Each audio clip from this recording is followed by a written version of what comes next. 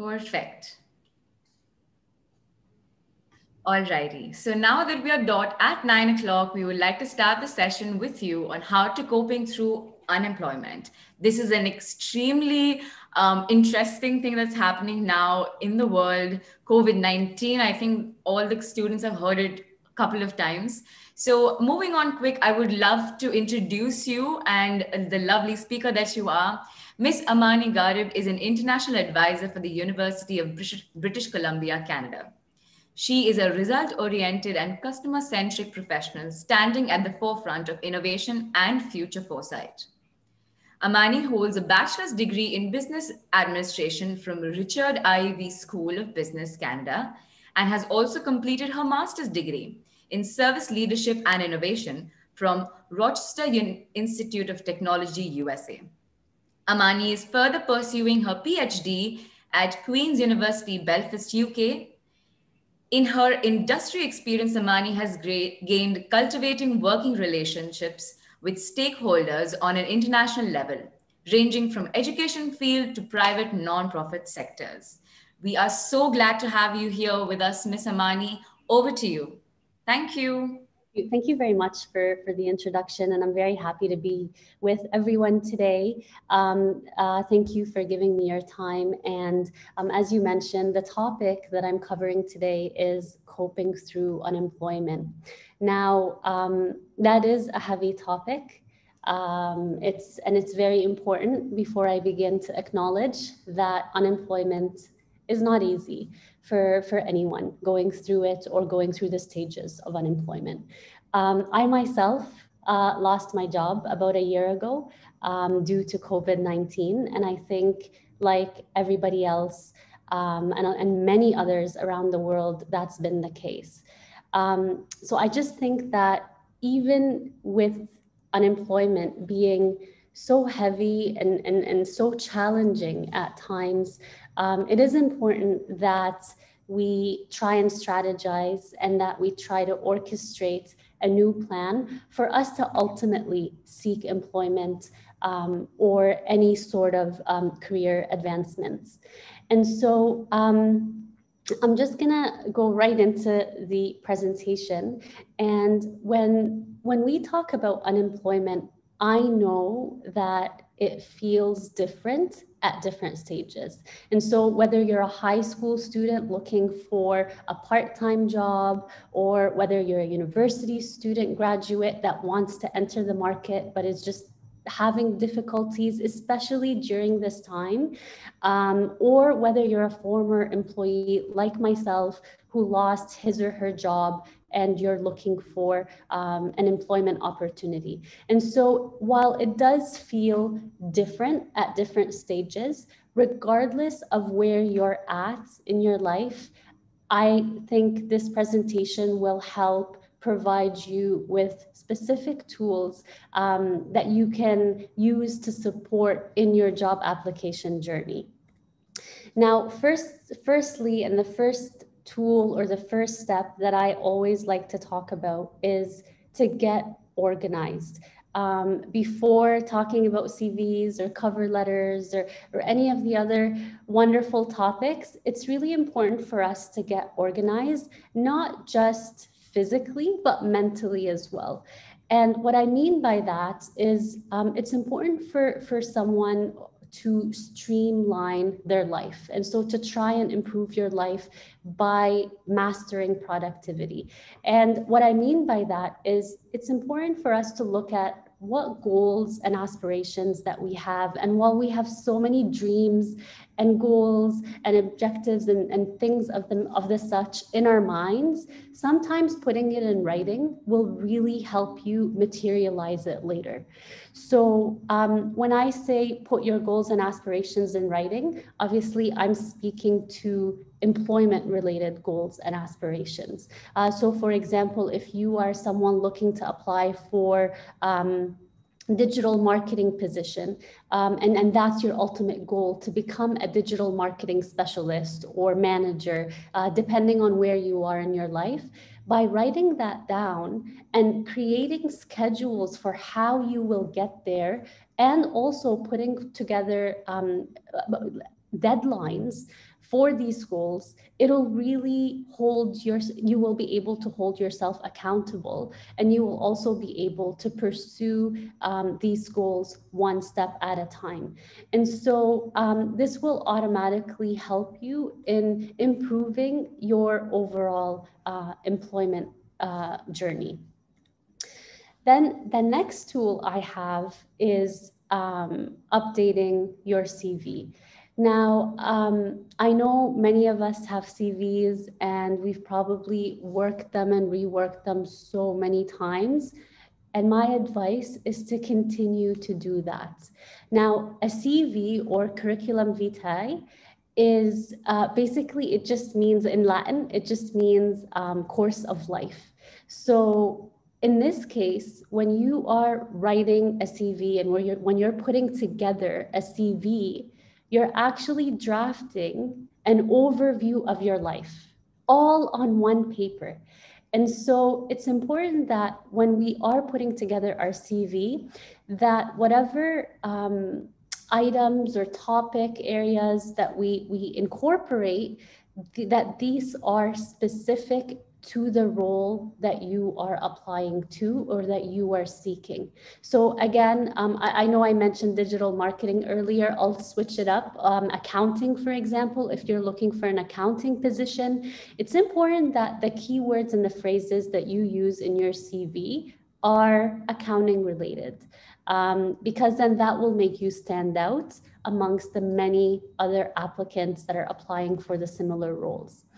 Um, the other uh, point I wanted to mention is to include a cover letter in your CV.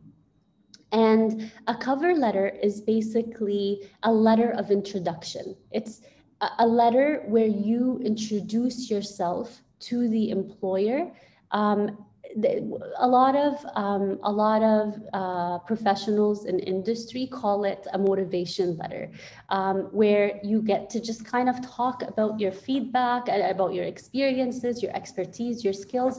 And I'm just going to show you this sample here. Uh, so right here, you're not meant to read this. I just wanted you to have an idea of how a letter, a cover letter would look like. So in the top, you would basically have your name, your address, your contact details, and then you start off by saying, you know, to whom it may concern, I am a graduate of the Richard Ivey School of Business. And then you can talk about your educational backgrounds. Then you can go on to talk about um, the roles that you've done. And now many of you may have never been in the uh, work uh, in the workforce uh, before. You you may have never worked before. You just you're a high school student that's looking to enter the market or a university student looking to enter the market.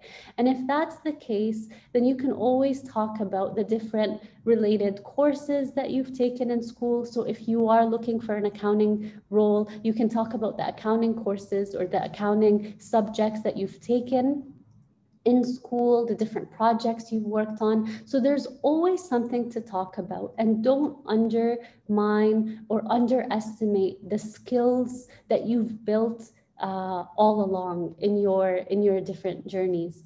And so this over here is basically the how a cover letter um, would look like.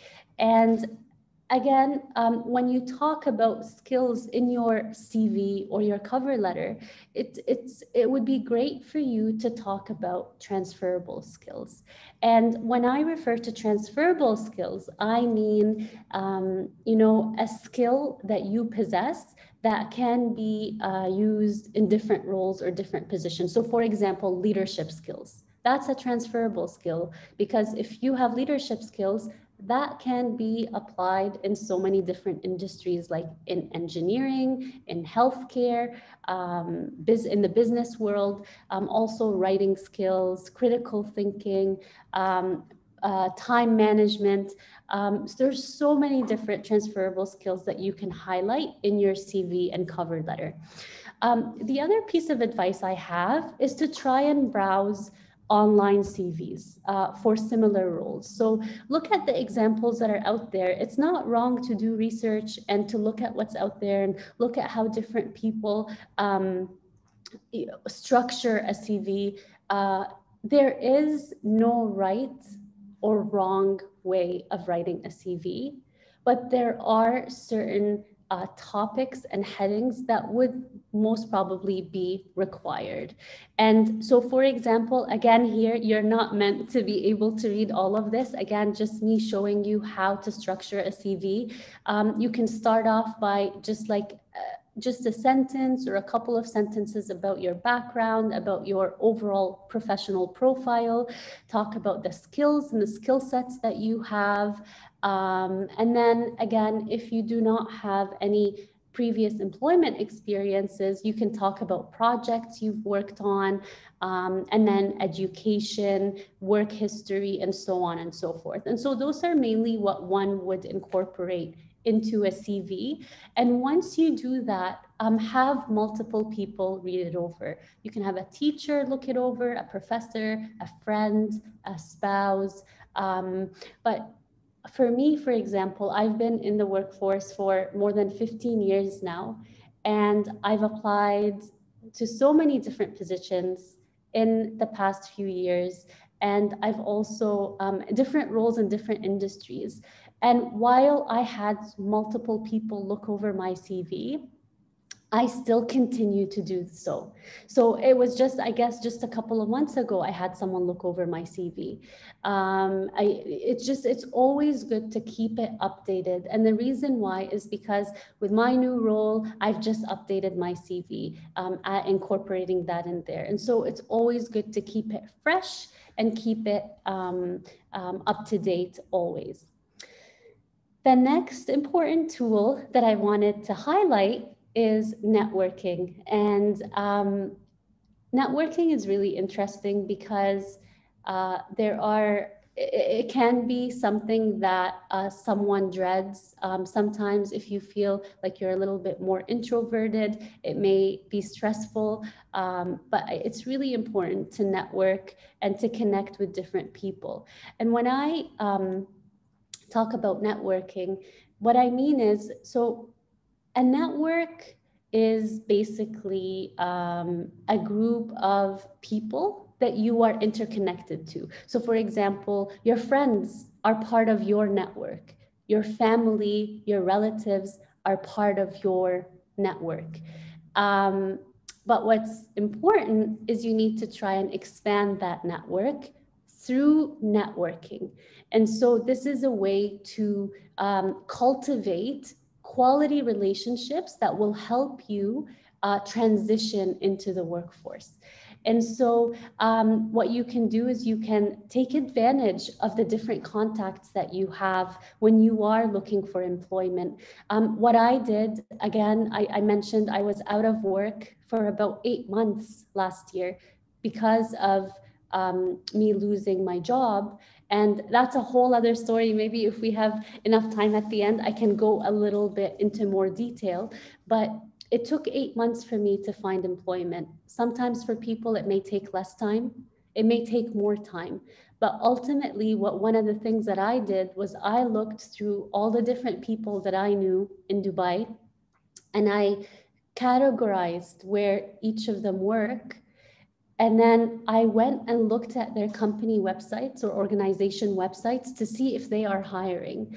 And if they were hiring, I contacted that person and I said, Hey, I heard or I saw that your organization is hiring for one, two, three position or ABC position. Um, is it possible if you can recommend me or refer me? Or is there something I need to know? It depends on the kind of relationship that you've already built and cultivated with that person. But that's a very powerful tool that you can use to your advantage, which is your network. Um, and then you can join agencies, you can create profiles on agency websites. So for example, um, when, I, when I talk about agencies, um, what I mean is recruitment agencies. So there are a lot of recruitment agencies out there that work with employers in supporting them in recruitment processes and talent acquisition. And so what happens is these recruiters have um, a database of all these profiles and they go through their databases for specific roles and that align with the employer. And then they'll contact the, the individuals that have profiles that align with what the employer's needs. And then they will interview you and support you in the entire interview process.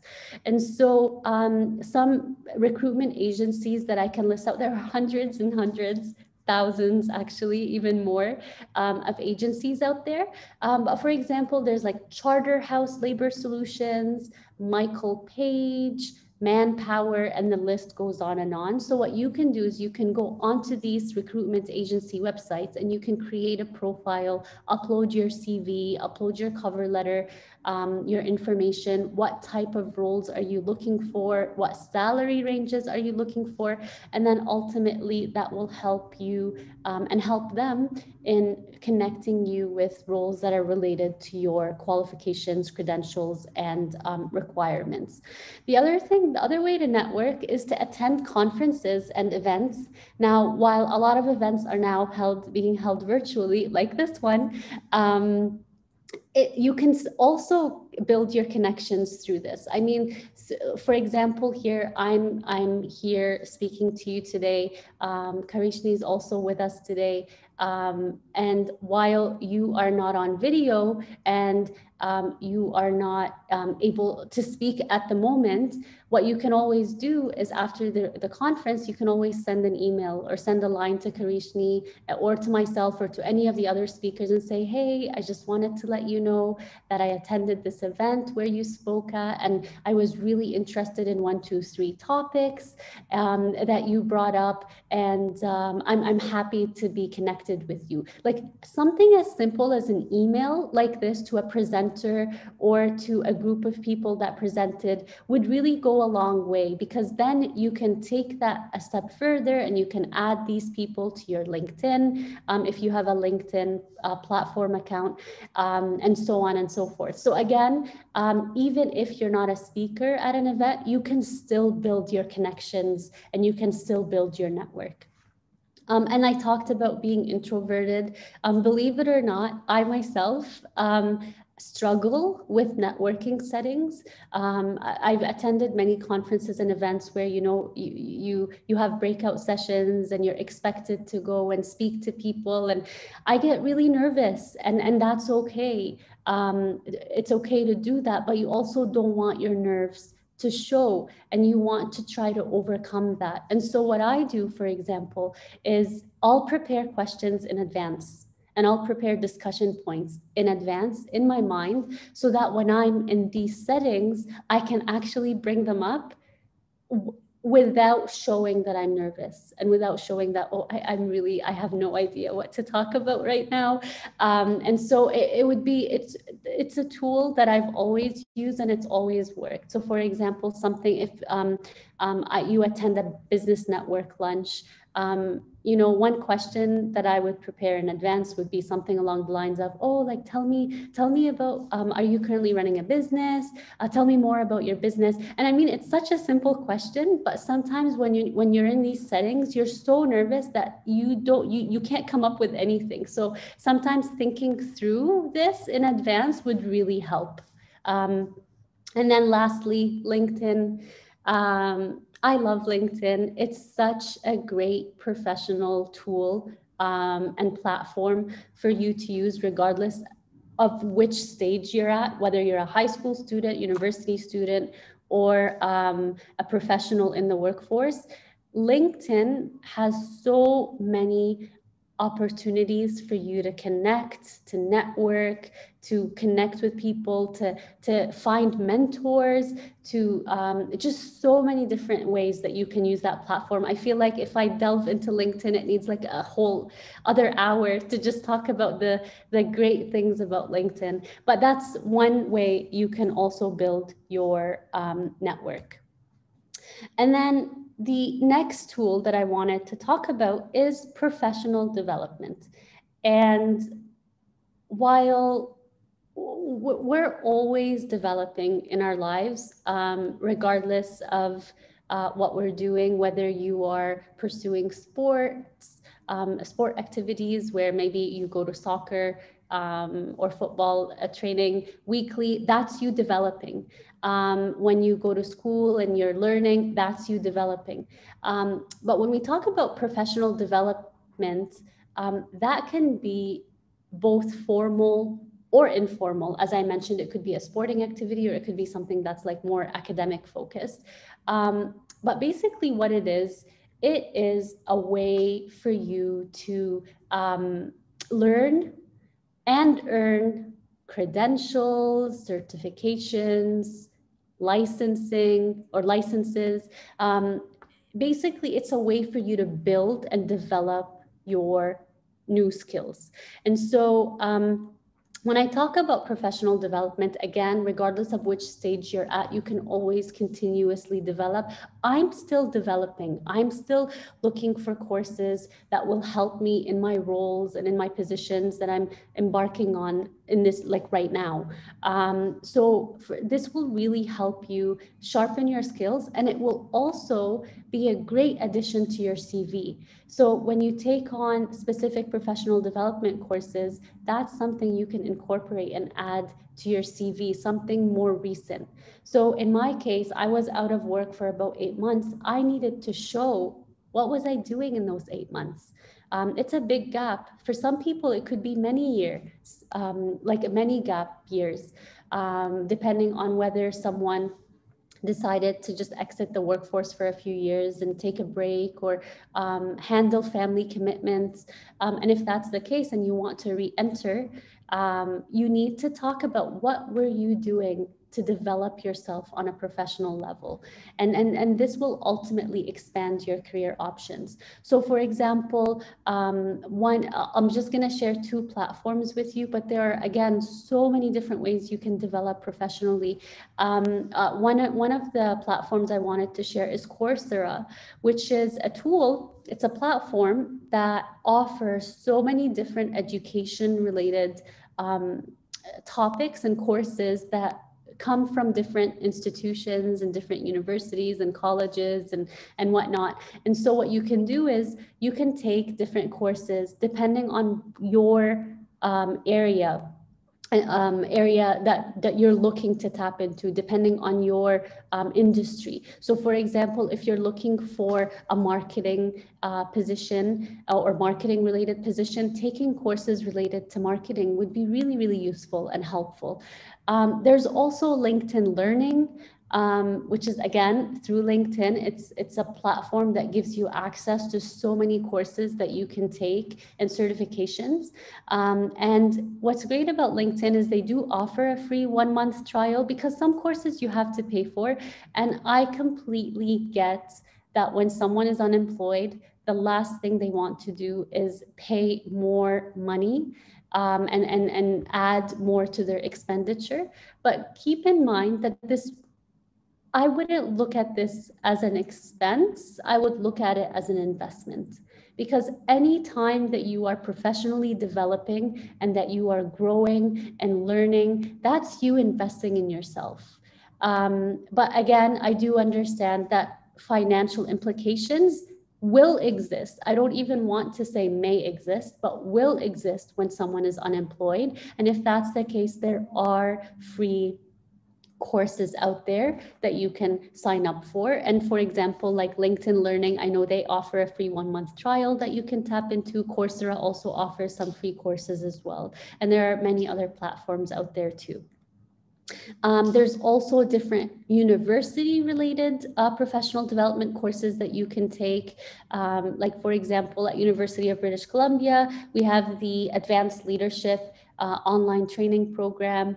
In Harvard University, there's a leadership principles uh, online course that you can take um, University of Colorado, there's like effective communication and writing design um, online courses that you can take as well. And I mean, I just listed three for you, but there are thousands, maybe even millions of courses out there that you can uh, take part in. Um, and the reason why I mentioned like leadership, advanced leadership, communication, writing is because, again, if we go back to our transferable skills, these are transferable certifications or licenses or like courses that you can actually apply in so many different roles. Um, and then finally, the last um, tool or the last tip that I have for you um, when you're going through unemployment is volunteering. And volunteering is basically giving yourself um, in service uh, to a cause by, by freely just giving yourself or giving your time. So you're either helping out an organization, you're helping out a community, an individual. Um, basically, that's what volunteering is. And so, um, my recommendation is to always volunteer in an area that's related to your field. Because ultimately, what you're doing is you're building a network in your field, even if you're volunteering and you're doing uh, work for free, basically. But what you're doing is you're building a network in your field. You're also gaining experience in your field. Um, and this can all, again, be incorporated into your CV. And so um, there are so many different places that you can volunteer in Dubai, um, in the UAE as a whole, actually, and anywhere around the world. Um, but you can just literally it be such a it would be, it would just be like a Google search um, volunteering opportunities in Dubai, for example. But I've listed a few for you here um, that you can possibly tap into. There's the Dubai Volunteering Center, the UAE Red Crescent, Habitat for Humanity, um, bin Rashid Global Initiatives, Make a Wish, UAE Smart Life Foundation, UAE Dolphin Project, and the list goes on and on and on. So um, this is a great way for you to also keep yourself busy because sometimes when someone is unemployed, it's really um, draining to be sending resumes like 100 resumes or CVs out every week. Sorry, I say resumes because in Canada we call it resumes. Um, in the UAE, it's called um, a CV. But um, basically, I know it's dreadful and it's hard when you're just consistently submitting job applications, but you're not hearing back. And I think it's really important to note that when you're submitting job applications, you're not the only one. So when you apply for a job, there are hundreds, potentially thousands of others who are applying for the same job. So, how are you going to make yourself stand out? And like I said, the different ways that you can do that is by taking your application a step further by connecting with someone in that company, someone who can refer you, someone who can recommend you, um, by uh, volunteering with that organization or that company because they know who, who you are, they know your work ethic, and so it'll be a lot easier for you to transition from a volunteering opportunity or even an internship into um, into employment. And so again, uh, it's not it's not an easy journey and it's not an easy process. But the most important thing is to put yourself out there. And um, I know I've taken you through some steps that you can kind of take into account. Um, and just to kind of reiterate those steps, the first thing would be to get organized, um, the second would be to update your CV, keep it updated, um, incorporate a cover letter or a motivation letter to your job applications. Um, network, network, network. Try and meet new people, connect with new people, um, take courses or uh, certification programs to sharpen your skills, um, to professionally develop. And finally, try and volunteer um, and help out in, in areas that are related to your field. And lastly, and last but not least, uh, stay positive. Um, we are in unprecedented times right now with COVID-19 and I know we all just want to put it behind us and move move forward but it's the reality that we're living in and we need to stay positive and try and work with what we have um, and try to build what we can um, and, and pursue a career the right way. Um, because sitting at home and submitting hundreds of applications behind a computer on a desk is not going to open as many doors for us as would networking, professional development. And even by the way, when you're professionally developing and when you're taking courses, you're interacting with classmates, you're interacting with teachers, with professors, um, with educators. And so that's also a great way to build your connection as well. Um, and that's how I ultimately got the job that I'm doing right now, it was through connections and it was through a recruitment agency um, by me just reaching out to people and saying, hey, um, I'm currently looking for work. Here, here's my CV. Here's what I'm looking for. Is there anything that you can do to help? Um, and actually, um, the, the way it worked with me is I had a friend who was approached by a recruiter um, for a specific role. And she said, No, I'm not interested, but I actually know someone who is. She shared her CV with me last week. Let me forward it uh, to you. And then the recruiter contacted me. So, again, don't underestimate your contacts, connections, whether it's friends, family, um, or professional networks, and stay positive and good luck. Um, and we're all in this journey together. We've all experienced unemployment at one point of our lives. Um, and just know that there will, there will always be light at the end of the tunnel. Um, so thank you for your time. I really hope this was helpful. Um, and I guess we'll just open it up to um, for questions. Excellent. This was such a lovely session. I needed to hear so many words that came out of your mouth today. It was exceptional. It's so important to be positive. Uh, as you said, yes, even I have experienced unemployment exactly when COVID 19 started. So I know exactly what you're talking about. Um, as for the questions, we would like to open the floor for questions. You can either unmute yourself and ask them if you like to, or else you can just post it in the chat box.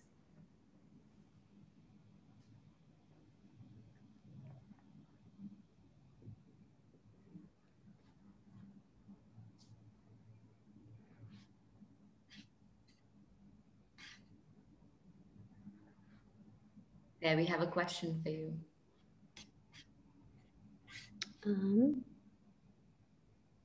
sorry, did someone ask a question? I, I wasn't sure. Uh, yeah, no, it's in the chat box. For the opportunities that you listed, do you know if there is a certain age you have to be?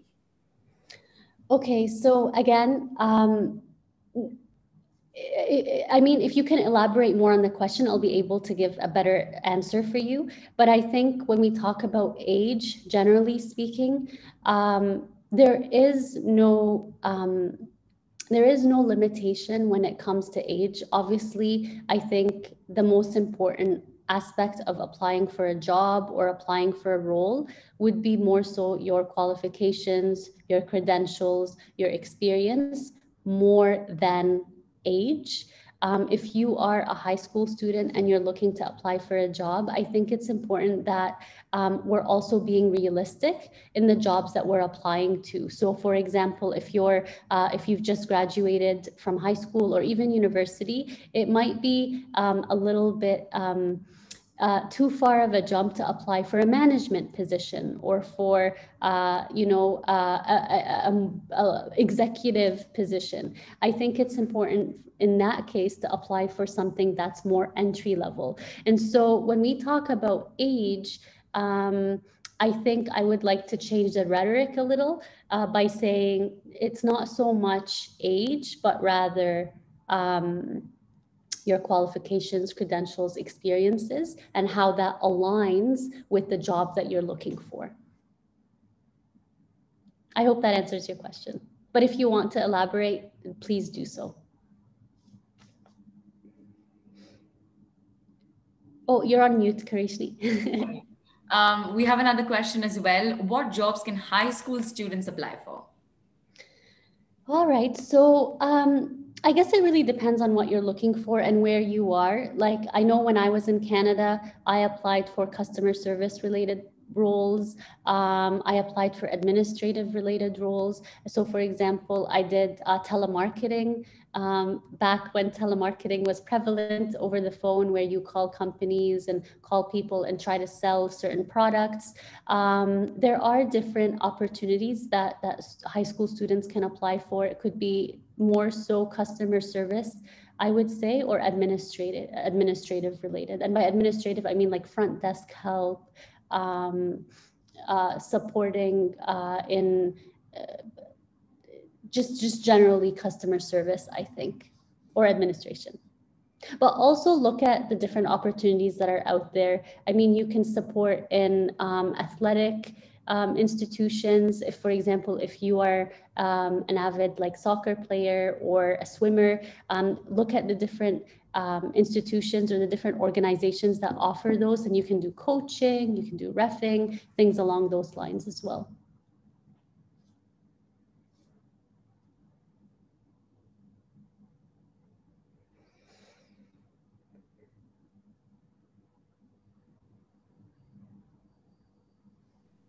Do we have any other questions, guys? Oh, lovely. Uh, for your CV, do you have anybody, uh, any suggestions that we should definitely add in? Um, so suggestion number one, make sure your CV is related to the job that you're applying for. Um, sometimes what I've seen is um, a lot of um, individuals usually use the same CV and they just submit it to so many different jobs in universities, in companies. I've also seen in the past because um, when I was in Canada, um, I worked for a government um, institution in supporting um, individuals like with their career job search and career applications and whatnot. And you'd be surprised to, to like to know and to hear about how many cases came up where someone would, for example, apply to IBM, but then in their CV, it would say, I'm really looking forward or I'm really interested in working for um, Deloitte um, Deloitte is one, two, three, because they've forgotten to um, change the names or the names of the companies and whatnot. So I guess number one suggestion, target your CV to the company you're applying for. But if you are going to target, make sure you're changing, you know exactly where you've listed out the name of the company that you're interested in so that you can ultimately change that when you're applying for other roles. Um, I would highlight your skills.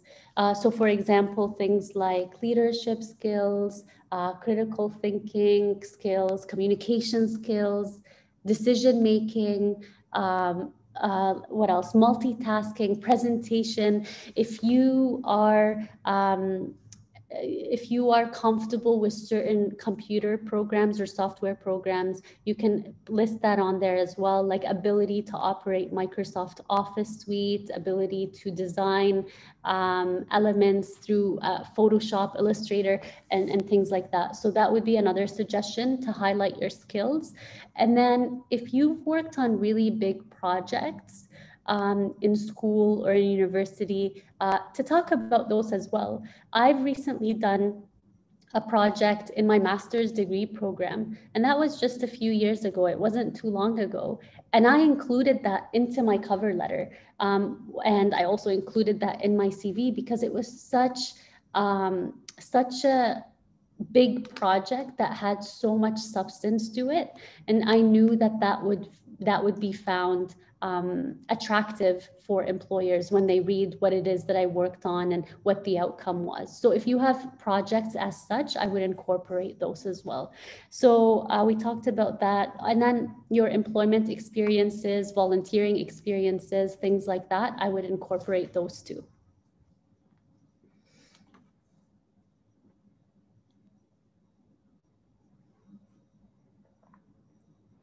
Any other questions? Oh, wow. Sorry, I'm seeing the chat box just now. Yeah. Sorry, I had to um, unshare uh, my screen to do that. Okay. Um, I think yeah, we've um, uh, answered all the questions that were asked, I think. Uh, just in case anyone has any other questions, you can definitely put it down in the chat box as this is a live webinar. And if you aren't able to engage as of now, I can definitely push on the questions to Ms. Amani. And if you provide me your email address with it, I can get back to you. All right, I think uh, we are approaching the end of the session today. I hope everyone had a lovely time. And thank you so much, Ms. Amani. This has been a wonderful session, and I cannot thank you enough. Thank you thank for you. your time, and we shall see you soon. Thank you very much. And thanks to all of you that have joined. Um, what I'll do as well, I, I, know Karishni has my contact details, uh, but I'll also include it in, in the chat box as well. So feel free to send me an email if you have any questions. And best of luck to you in any endeavor you decide to, to embark on. And um, if there's any way that I can help or support, I'd be more than happy if, if you connect with me through LinkedIn or also um, through email as well. All right. Thanks a lot. Have a great day, everyone. Thank you so much, Ms. Amani. Have a lovely day. Bye-bye. Thank you. Bye-bye.